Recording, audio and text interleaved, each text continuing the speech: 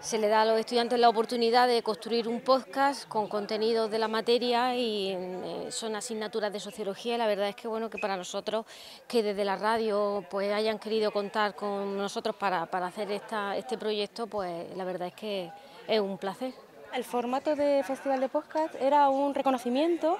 al trabajo y al esfuerzo que han hecho los estudiantes y las estudiantes eh, para involucrarse en una propuesta que hemos hecho un grupo de profesores dentro del marco de un grupo de innovación docente sobre el podcast como eh, herramienta para la enseñanza eh, aprendizaje significativo activo, que el año anterior, el anterior tuvimos también para aplicar a la multimodalidad. Entonces la propuesta del profesorado era lanzarse a la aventura de hacer algo que nunca habían hecho,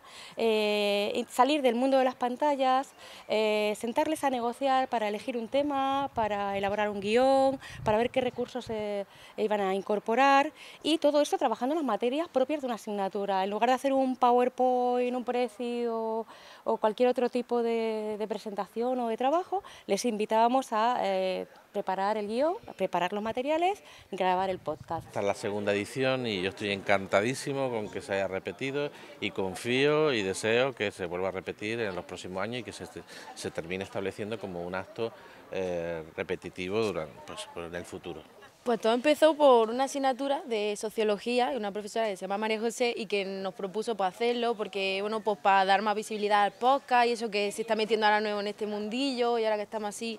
Y nos propuso pues no de hacerlo mucho tiempo y pues el, tema sí era del COVID. Entonces nosotros decidimos la brecha digital pues para conocer y un poco hablar de los temas, lo que en las universidades sobre todo, ¿no? Porque se suele hablar de brecha digital en tanto instituto y colegio porque, bueno, hay más gente, ¿no? Que a lo mejor